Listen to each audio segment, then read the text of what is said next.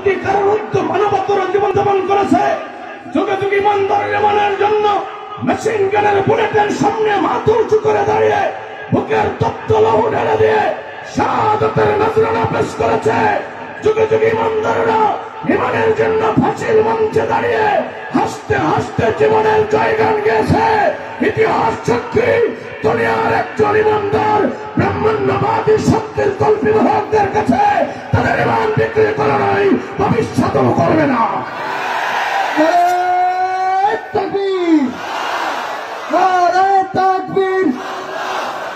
আল কোরআনের আল হাদিসের আমরা সব হারাতে পারি। আমরা সব হারাতে পারি। কিন্তু ইমানের রাজপথ থেকে এক কদম দূরে সরে যেতে পারে না। আমাদের যদি কেটে টুকরা টুকরা করে ফেলা হয় অথবা জ্বলন্ত আগুনে জ্বালিয়ে দেওয়া হয় আমরা কেটে টুকরা টুকরা হয়ে যাব জ্বলন্ত আগুনে পুড়ে ছন্ন হয়ে যাব। অসম আমার আল্লাহর ইমানের পথ থেকে আমাদের কেউ দূরে সরাতে পারবে না। আমরা জান দিতে পারি শির দিতে পারি কিন্তু ইমান হারা হতে পারি কারণ ইমান ছাড়া জান্নাতে যাওয়া যাবে আল্লাহ রসুলের আপন চাষা কি নাম? আবি তালিব। জন্মের আগে বিশ্বনবী বাবাকে হারিয়েছে।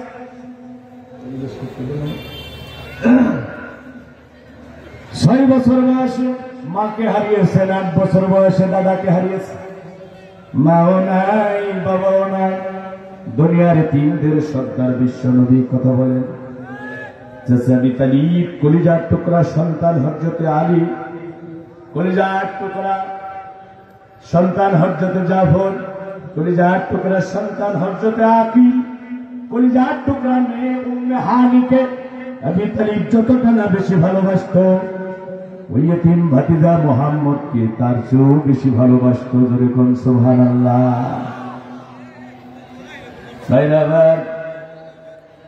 আবি তালিব বিশ্ব নবীর জন্য সে আবি আবি তালিবের তিন বছর যে লোক জেলও কেটেছে। ওই জেলখানা আর আমাদের দেশের জেলখানার ভিতরে বিস্তর পার্থক্য আছে না আমাদের দেশের জেলখানায় একশো মার্ডার করাও যদি কেউ জেলে যায়, বলেন তো তার খাবার কি বন্ধ হয়? সকালবেলা রুটি, এক সিমটি গুড়, দুপুরবেলা ভাত, সন্ধ্যাবেলা ভাত। জেল খাবার, খানার খাবার অত্যন্ত নিম্নমানের, আপনার ভালো লাগে না। আপনার স্বজনেরা আপনার পিসিতে যদি টাকা পাঠায়, জেলখানার ভিতরে ক্যান্টিন আছে, ভালো ভালো খাবার কিনে খাওয়া যায়। কথা বলেন? কিন্তু বিশ্বনবী ইতিহাসগুলো যখন পড়ি, চোখের পানি ধরে রাখা যায় না।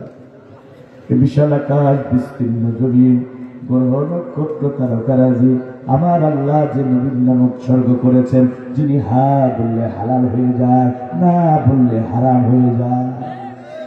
যার চেহারা দেখলে তিন সন্তানগুলো মা হারানোর বেদনা ভুলে যায়, বিধবারা স্বামী হারানোর বেদনা ভুলে যায়, ক্ষুধার্ত মানুষের পেটের ক্ষুধার যন্ত্রণা দূর হয়ে যায়। আল্লাহ জানাই সে তো হুমাইলে বলে যে সমস্ত মহিলাগুলো হরজত ইউসুফ আলাহ সাল্লামের চেহারা দেখে মনের অজান্তে তাদের হাতের আঙ্গুলিগুলো কেটে ফেলেছিল। তারা যদি একটা বার একটা বার আমার রসুলের চাঁদমাতা চেহারাটা দেখতে পেত, তাহলে তারা তাদের মনের অজান্তেই তাদের কলিজাটা কেটে দিন্ন বিদীর্ণ করে ফেলত। জীবনে কোনোদিন মিথ্যা কথা বলে নাই। কাউরে আঘাত দেয় নাই বিশ্ব নবী? অথচ এই নবী হারাবে কি? জেলখানায় বন্দি করা হলো, অর্থনৈতিক সম্পর্ক ছিন্ন করা হয়েছে, খাবার বন্ধ হয়ে গেছে। খোদার যন্ত্রণা সহ্য করতে না পেরে আল্লাহ নবী তার সাথীরা মরা পশুর চামড়া সিদ্ধ করে করে খেয়েছি, গাছের লতা পাতা চিবিয়ে চিবিয়ে খেয়েছে।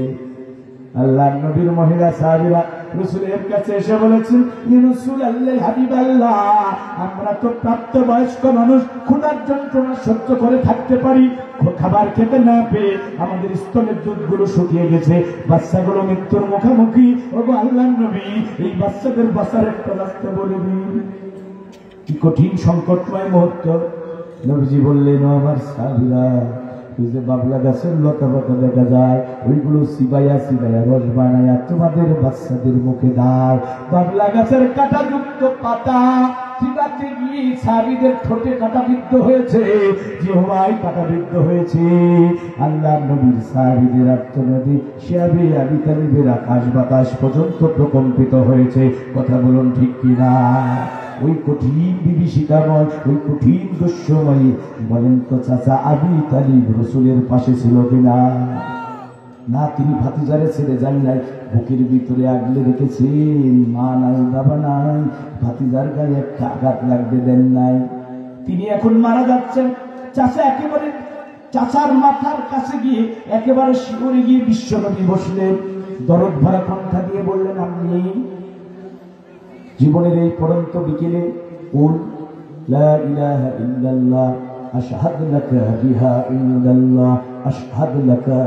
ইনদাল্লাহ ও আমার চাচা, শুধু একটা বার বলেন, লা ইলাহা, আমি মোহাম্মদ কথা দিচ্ছি, আল্লাহর আদালতে আমি নিজে আপনার ইমানের সাক্ষী দেব। আল্লাহ আমি তালিব কালেমা পড়ার প্রস্তুতি নিচ্ছেন। কাফেরা পরিণত করলাম। ও আমি তালিব, তুমি মক্কার এত বড় নেতা। বাপ দাদা ধর্ম ত্যাগ করে এখন মোহাম্মদের নতুন দিন গ্রহণ করবে, এটা তো তোমার জন্য খুলবে মানান আমি তালিব কালেমা পড়ল না, বেঈমান অবস্থায় মরণ হলো। ভাইরা আমার বলেন তো আবি তালিবের ভাগ্যে কি জান্নাত জুড়বে তিনি জাহান নামে যাবেন তবে জাহান নামীদের ভিতরে আবি তালিবের সবচেয়ে কম শাস্তি হবে। জাহান নামের আগুনের তৈরি করা জুতা তালিবের পায়ে পড়াইয়া দেওয়া হবে। মাথার মগজগুলো টকবক করে ফুটতে থাকবে। এত ভালোবাসা ভাতিজা মোহাম্মদকে দিয়েছে। ইমান না থাকার কারণে আমি তালিবের ভাগ্যে জান্নাত ছুটে নয় ও কচ্চাতপুরের আল্লাহর বান্দা, বান্দিরা, সাবধান। দুনিয়ার সব তোমার আছে। কিন্তু ইমানের দৌলত নিয়ে যদি কবরে যেতে না পারো, তুমি ব্যর্থ হবে ব্যর্থ হবে, কখনোই জান্নাতে যেতে পারবে না।